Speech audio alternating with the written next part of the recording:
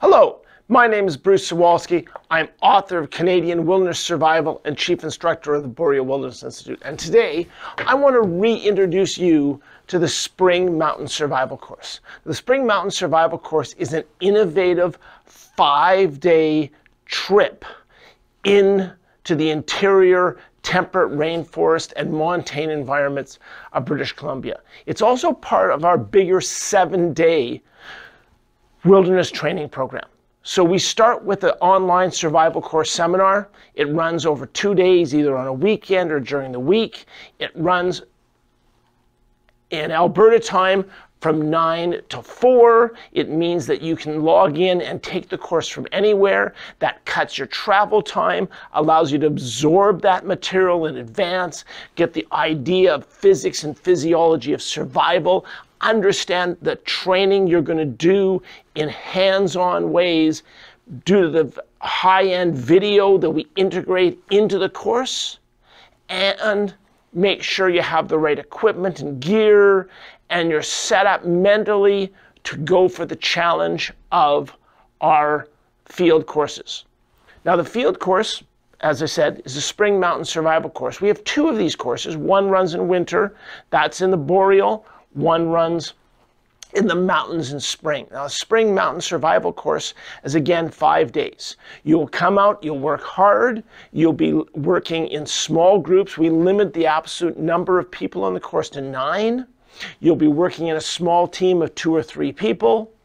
You will get out and work in a base camp, and there'll be instructors there, and we will work with you all day long. We will keep you moving. We will make sure you learn and enjoy yourself and really gain knowledge that you're going to need to survive in that environment.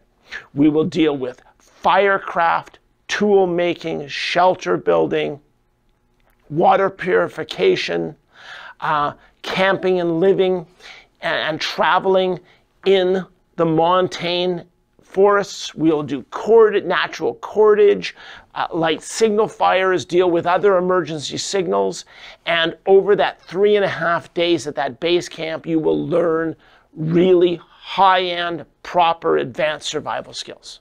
And then we'll step off on the last day and we will move to a new camp whether that is walking out of our base camp to a new location.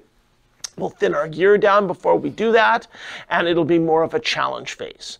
And in that case, we'll either move by vehicle and then a few kilometers hiking, or we'll just hike a few kilometers up into a higher, newer area to give you the chance of seeing what would happen if you got stranded. And we'll be there along the way, and we'll keep learning in that environment to make sure that you get the maximum amount of skills out of that five days in the wilderness.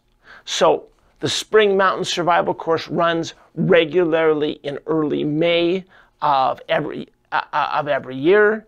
It's an excellent course.